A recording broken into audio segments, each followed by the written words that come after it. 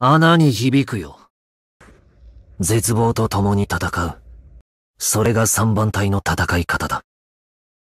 同じ命を落とすにしても、傷は浅いまま死にたいだろう。切りつけたものの重さを倍にする。二度切ればさらに倍。三度切ればそのまた倍。それが僕の残白と、ワビスケの能力。三番隊の対価は金銭か。花の持つ意味は絶望。それはすなわち三番隊の矜持だ。戦いは英雄的であってはならない。戦いは爽快なものであってはならない。戦いとは絶望に満ち、暗く、恐ろしく、陰惨なものでなくてはならない。